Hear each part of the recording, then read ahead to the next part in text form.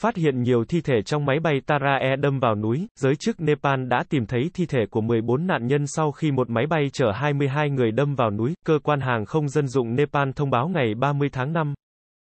Lực lượng cứu hộ Nepal ngày 30 tháng 5 đã kéo 14 thi thể khỏi xác máy bay chở khách của hãng Tara e gặp nạn một ngày trước đó.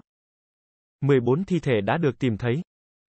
Các cuộc tìm kiếm vẫn đang tiếp diễn. Ông Gieo Chandra Lankan, người phát ngôn cơ quan hàng không dân dụng Nepal, tuyên bố, theo AFP.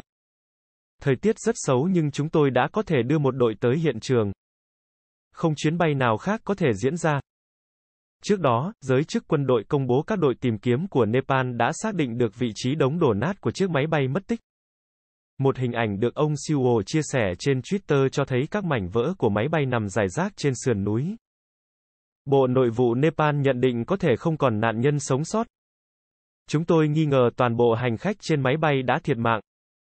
Đánh giá sơ bộ của chúng tôi cho thấy không ai có thể sống sót sau vụ tai nạn, nhưng thông báo chính thức sẽ được đưa ra sau, người phát ngôn Fadindra Manipokro tuyên bố, theo Time of India.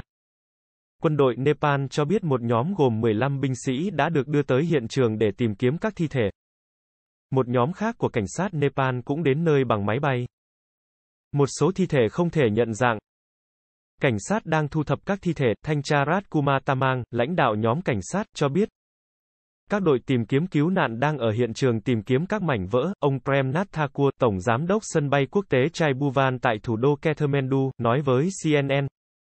Sau khi toàn bộ hành khách được tìm thấy, thi thể của họ sẽ được gửi về Kathmandu. Máy bay của hãng Tara Air chở 22 người. Khởi hành vào sáng ngày 29 tháng 5, đã mất liên lạc với đài không lưu chỉ 12 phút sau khi cất cánh. Máy bay khởi hành từ thị trấn du lịch Pokhara, cách thủ đô Kathmandu khoảng 200 km về phía tây bắc, bay đến khu vực Jomsom, cách thủ đô 80 km về phía tây bắc. Thông thường, chuyến bay giữa hai thành phố chỉ kéo dài 20 đến 25 phút. Trên chuyến bay có 19 hành khách và 3 thành viên phi hành đoàn bao gồm 13 công dân Nepal, 4 công dân Ấn Độ và 2 công dân Đức. Quốc tịch của các hành khách còn lại chưa được xác định. Giới chức Nepal nhận định nguyên nhân của vụ tai nạn có thể là thời tiết xấu. Ngành công nghiệp hàng không của Nepal đã phát triển vượt bậc trong những năm gần đây, đưa khách du lịch cũng như hàng hóa tiếp cận các khu vực hẻo lánh, nơi đường bộ bị hạn chế. Tuy nhiên, Nepal có thành tích an toàn hàng không kém do không được đào tạo và bảo dưỡng đầy đủ.